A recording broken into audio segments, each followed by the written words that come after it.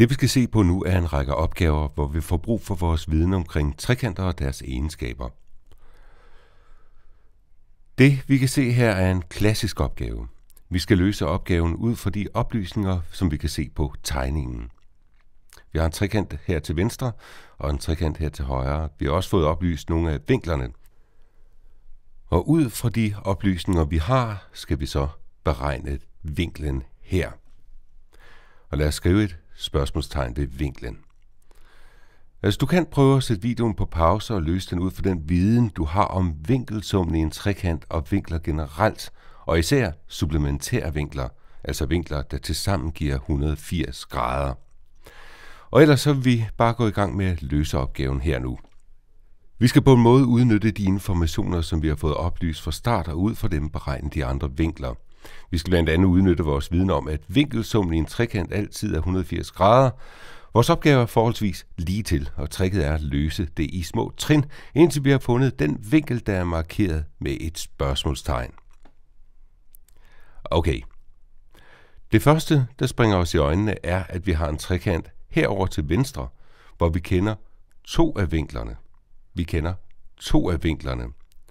Og når vi kender to af vinklerne i en trekant, så kan vi altid regne os frem til den sidste vinkel, da vinkelsummen altid er 180 grader i en trekant.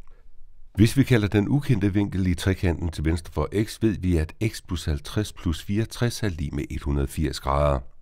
Det er det samme som x plus 114 er lige med 180 grader. Og derefter kan vi så trække 114 fra på begge sider af lighedstegnet. Og så får vi, at x er lige med 180 minus 114. 80 minus 10, det er 70, minus de sidste 4, det er lige med 66 grader. Nu kan vi se, at der er en af de andre vinkler i trekanten til højre, der er rimelig lige til at regne ud. Lad os skrive det på den her måde. x er lige med 66 grader, og vi ved nu, at den vinkel her er 66 grader. Og vi ved også, at den og vinklen lige ved siden af er supplementær, da det tilsammen giver 180 grader. Vinklen her kalder vi y, og vi ved, at y plus x er lige med 180 grader, og at x er lige med 66 grader. Så vi indsætter 66 på x plads, og så kan vi trække 66 fra på begge sider af lighedstegnet. Y er altså lige med 180 minus 66, som er lige med 114. Ser det her tal bekendt ud? Læg mærke til, at summen af de to andre vinkler i trekanten til venstre også gav 114. Det er faktisk generelt, og vi vil bevise det her ved siden. Hvis vi for eksempel har en trekant med vinklerne vinkel A og vinkel B, så ved vi, at den sidste vinkel er 180 minus A minus B. Vinklen ved siden af er en udvendig vinkel, da den ligger uden for trekanten. I det her eksempel er y altså en udvendig vinkel, og det er vores udvendige vinkel y, der er supplementeret til 180 minus a minus b. y plus 180 minus a minus b giver altså 180 grader. Det skriver vi lige ned. y plus 180 minus a minus b er lige med 180. Nu kan vi trække 180 fra på begge sider af lighedstegnet. Vi kan også lægge a plus b til på begge sider af lighedstegnet, så plus a plus b og plus a plus b. Nu står der kun y på venstre side af lighedstegnet, og på højre side står der a plus b. y er lige med a plus b, og sådan vil det altid forholde sig.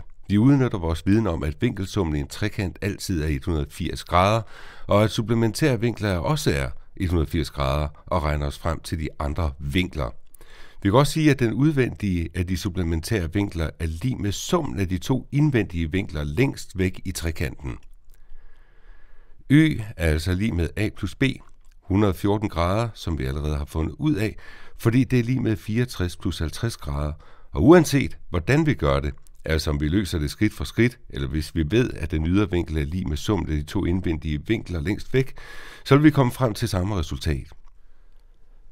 Lad os fortsætte og kigge på trekanten til højre nu. Vi ved, at y er 114 grader, og vinklen længst til højre kender vi. Den er 31 grader. Nu skal vi beregne den sidste vinkel, som opgaven gik ud på. Den kan vi kalde z. Vi ved, at z plus 114 plus 31 er lige med 180 grader. Summen af vinklerne i en trekant er altid 180 grader. Det er den eneste viden, vi udnytter til at løse opgaven.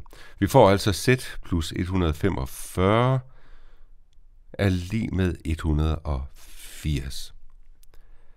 Regner vi rigtigt der? 114 plus 31, det giver 145, så det er rigtigt nok.